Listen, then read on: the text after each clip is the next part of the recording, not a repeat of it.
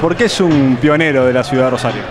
Bueno, yo tuve la suerte de, ser el seguidor, el continuador de una empresa que la empresa en sí tiene 70 años. Mi padre la compró hace 43 años o 42 años y yo arranqué con él hace, en esa época también.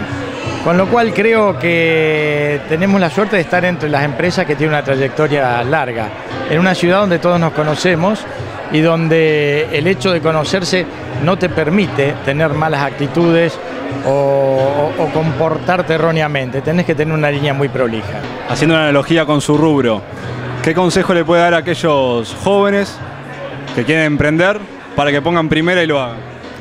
Mira, yo creo hay dos grandes teorías, o teorías, no sé si es el nombre, pero una dice que eh, tenés que hacer lo que te guste. Y a mí me gusta más pensar que tenés que encontrar que te guste lo que haces. Creo que hay que ponerle pasión a cualquier cosa que uno le toque hacer. Yo no sé si tuve la suerte de encontrar el trabajo que me guste, pero sí busqué que me guste lo que estoy haciendo. En manejar una empresa, en cualquier oficio. Vos ves que hay gente que hace aún trabajos muy duros y que para el grueso serían muy difíciles. Hay gente que lo hace con mucho orgullo, con mucha gana y con una onda impresionante. Me parece que eso es lo que hay que hacer. Y, y, y la verdad hay que meterle esfuerzo.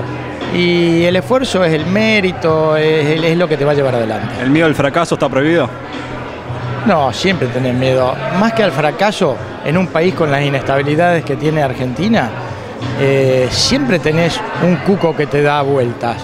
Pero bueno, también forma parte de la formación, forma parte, a ver, crear un gran equipo de gente alrededor tuyo. Cuando hablo de gran no hablo de tamaño, hablo de capacidad, hablo de profesionalismo. Eh, algunos tienen suerte de tener dos o tres socios, otros, como en mi caso, yo no tengo socios, entonces con más razón necesito un gran grupo de colaboradores. Y la verdad que son los que te auxilian y te empujan cuando vos te empezás a flaquear.